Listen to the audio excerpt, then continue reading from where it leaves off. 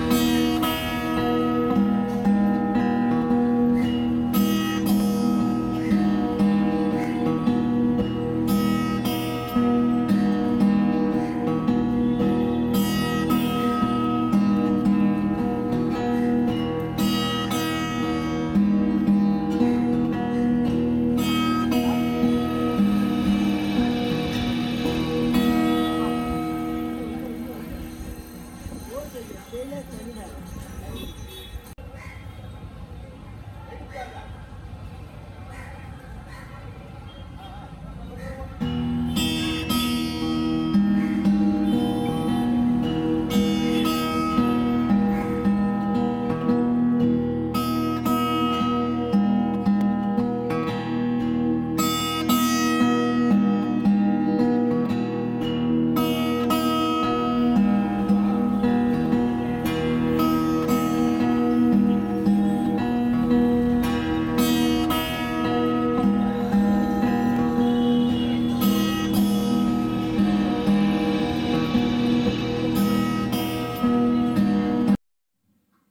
இந்த வீடியோவை பார்த்ததுக்கு நன்றி.